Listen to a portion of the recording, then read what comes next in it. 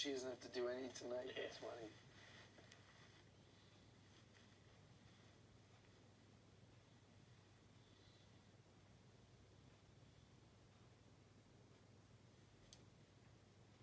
Sorry. I just have to do it at least once. You trying to nippy? Where is it? Right there. I, I, you, I mean, that's the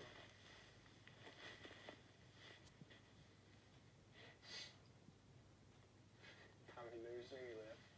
When I come to visit you? Oh, you don't live with your parents, right? No. but I live five minutes away from I was gonna say, like, what if I came to visit, like, your parents' house and we slept there? Like, they had a spare bed. I skip banish you. I would be like, all right, good night. I'd be, I'd be in your bed. They would come, like, find us. Like, what are you guys doing? I only have, uh, no, I, I'm, my boyfriends aren't allowed to sleep in the bed with me, so you, you would have to sleep somewhere Yeah, but I'm not your boyfriend, so wouldn't I be allowed? Uh, anyone that, no romantic love interests are allowed in any way, shape, or form. But what if I don't have a romantic love interest? Come on, Nick. Don't tell me that, Nick.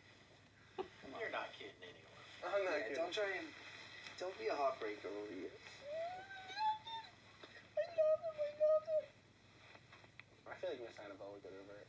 She, cause like, No, definitely not. what do you mean? We like we sleep together almost every night.